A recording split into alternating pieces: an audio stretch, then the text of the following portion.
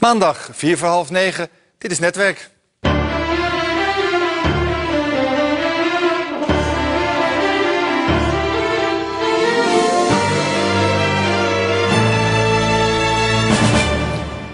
Dag, dames en heren, goedenavond. Ze werden jarenlang verkracht en uitgebuit. En dat alles voor het genot van Japanse soldaten die ver van huis toch wat afleiding en troost moesten kunnen vinden bij jonge vrouwen.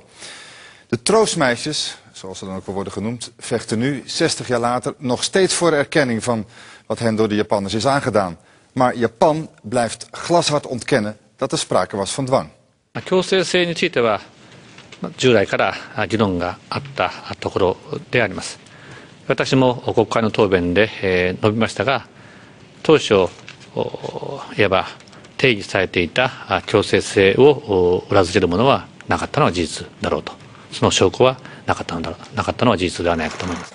Ik ben daar gewoon ah, verbijsterd over. En eh, eh, toen hij het laatst dus eh, eh, herhaalde dat, hij, eh, dat er geen sprake is van dwang, dan ben ik gewoon echt hartstikke kwaad. Het is gewoon een sch- echt een schandaal. Ik ben hier zeer onaangenaam door verrast. Dat is ook de reden dat eh, eh, minister Verhagen de ambassadeur van Japan eh, zal ontbieden om hier nader eh, informatie over te krijgen. Die vrouwen worden weggezet als, als ordinaire hoeren. En eh, als je weet, als je, ik heb die brieven gelezen van die vrouwen. Nou, als je ze leest, dan bloedt je hart hoor. Dat is, dat is zo schrijnend. Eh, en dat dit dan gezegd wordt door de premier van Japan is gewoon echt een grof schandaal. En zo is er een nieuw diplomatiek incident geboren over een zaak die al 60 jaar oud is. Maar voor de troostmeisjes van toen is het allesbehalve verleden tijd. Voor hen is het misbruik een trauma geworden waar ze tot op de dag van vandaag mee worstelen.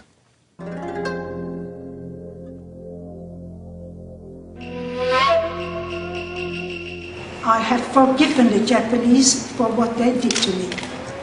But I can never forget. 50 jaar hebben wij gezwegen. In Holland. In Holland.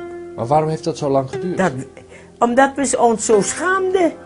Ik zou geen ander woord weten. We wilden daar niet meer over praten, begrijp je?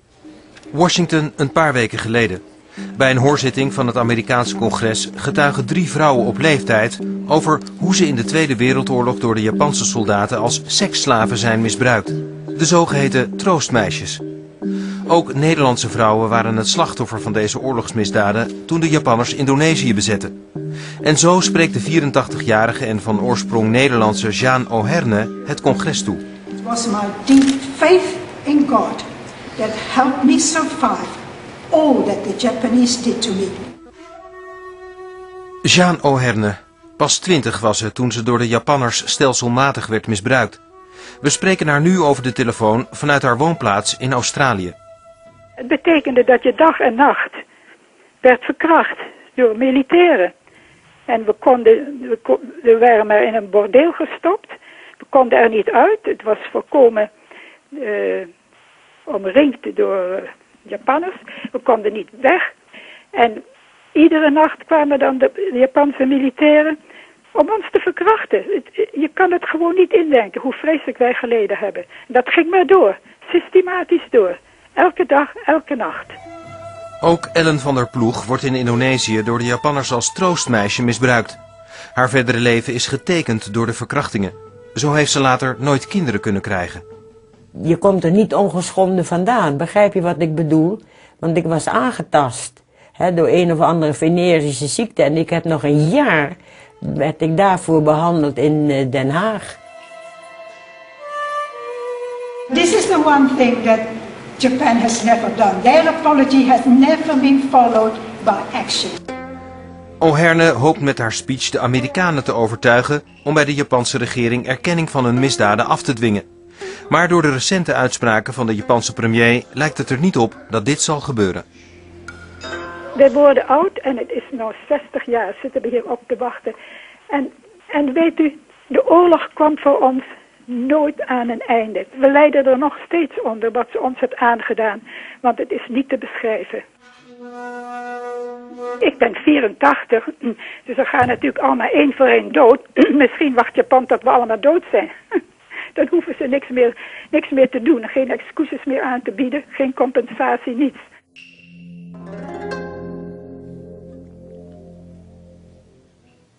Geen erkenning van hun lijden. Dus sterker nog, de uitbuiting en het misbruik wordt door Japan nu weer bestempeld als nooit bewezen.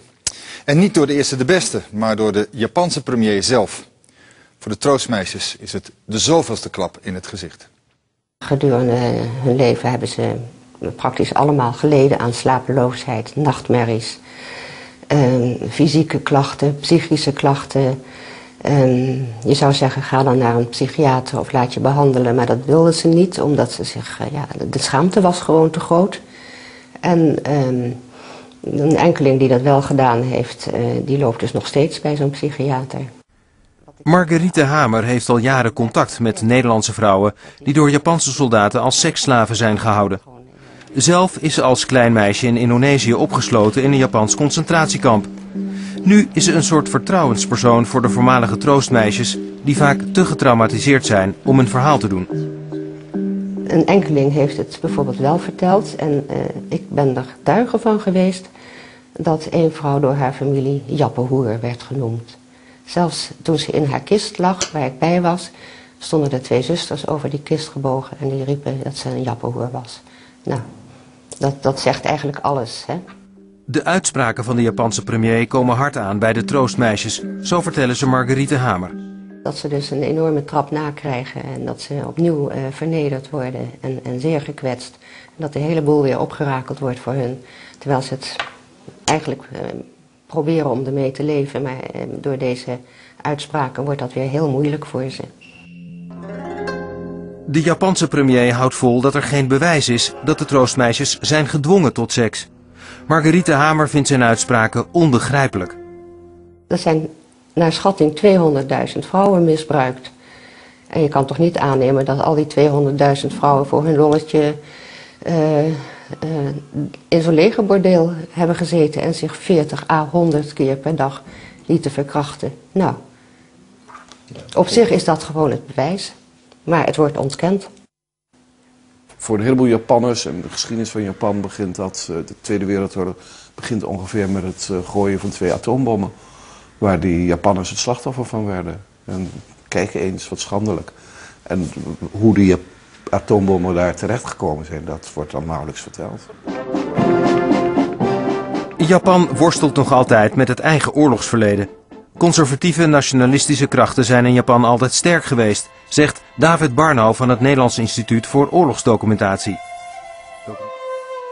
Een van de punten is denk ik dat, dat Japan na de oorlog uh, als het ware bezet is door de Amerikanen. Die hebben wel de, uh, de keizer gehouden. Die, die, die moest wel zeggen dat hij niet, uh, niet goddelijk was, maar de keizer bleef. En een groot deel van de infrastructuur bleef. En daarbovenop is iets van democratie gezet. Wat voor hun vrij nieuw was, maar waar ze formeel aan voldaan hebben. Maar een deel van de, ja, de conglomeraten, die zijn in stand gebleven. Dus de oude structuren zijn nog aanwezig in Japan? Die zijn nog aanwezig. Je hebt een veel, ook een veel sterkere uh, oud-strijdersgedachte die voor, uh, voor het vaderland en de natie gevochten heeft. En er absoluut niet voor voelt om ook maar één lelijk woord te krijgen. Dit is nou precies wat die premier Abe doet. Hij, hij probeert, hij heeft één doel voor ogen. Hij wil uh, dat het Japanse volk trots is Japanner te zijn. En daarom wil hij uh, de schaamteloze periode verdoezelen en daarom ontkent hij het. Maar ja, hij bereikt eigenlijk het tegendeel, want uh, de ogen van de wereld zijn op hem gericht.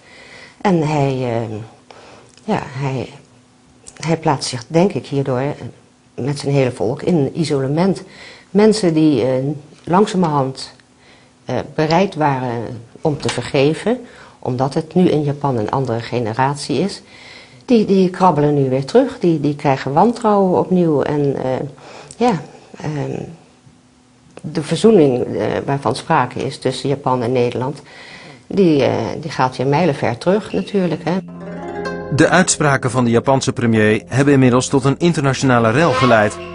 De Japanse ambassadeur in Nederland is door de regering op het matje geroepen. En ook de Tweede Kamer neemt de zaak hoog op.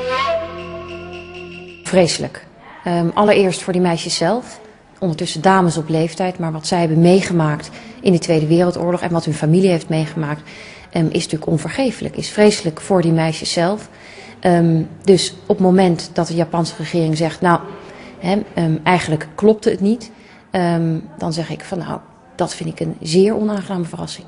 Pijnlijk en onwaardig, want er wordt iets ontkend wat gewoon bewezen is. Dat Japanners in de Tweede Wereldoorlog vrouwen tot prostitutie hebben gedwongen. De zogenaamde troostmeisjes. En dat kan dus niet. Het kan niet dat eerdere excuses die door de Japanse regering zijn gemaakt, nu eigenlijk worden teruggedraaid. Um, dus daar moet wat aan gebeuren. Wat dat precies is, dat moeten we ook echt in overleg zien met een aantal andere landen. Maar we laten dit niet passeren. Als de premier vasthoudt aan het standpunt, er zat geen dwang achter. Uh, wat moet er dan gebeuren? Dan betekent het dat wij de Japanners keer op keer moeten aanspreken bij officiële contacten. Dus wanneer premier Balkenende A bespreekt, wanneer Verhagen zijn collega spreekt, wanneer andere ministers hun collega spreken. Constant dat uh, aan de orde stellen. En in de Europese Unie kijken of andere landen ons willen steunen. Want bijvoorbeeld hetzelfde is gebeurd met Britse vrouwen, Franse vrouwen, uh, Italiaanse vrouwen. Dus dat soort dingen moeten gewoon erkend worden. Ik denk dat eigenlijk de hele beschaafde wereld uh, hier tegen zou moeten gaan protesteren. Want uh, je moet je, je, je, fouten gewoon niet verdoezelen en, en je bevolking niet zo voorliegen eigenlijk. Want hij pleegt gewoon geschiedsvervalsing met, met, met deze uitspraken. De Japanse oud-premier Murayama heeft vandaag gezegd dat Japan wel degelijk moreel verantwoordelijk is voor de praktijk van de troostmeisjes. Murayama neemt daarmee afstand van de opvatting van de huidige regeringsleider.